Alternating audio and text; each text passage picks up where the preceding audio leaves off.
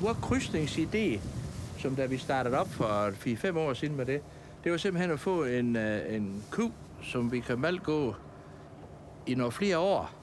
Fordi hver gang vi skal lave en ny ku, det koster penge. I, i dem to år, den går, øh, og den skal fylde op i en hus og bare vokse, for at den kan komme ind og blive ku, den er simpelthen, det er omkostninger, omkostninger, omkostninger. Øh, og kan vi få en, som kan, vi kan malke i fem år frem for tre år, så sparer vi og skal sætte en, en ny ind. Så får vi selvfølgelig noget kærlig overskud. Dem kan vi så sælge som små. Så bare, de koster så selvfølgelig ingenting. Det er affaldsprodukt for os.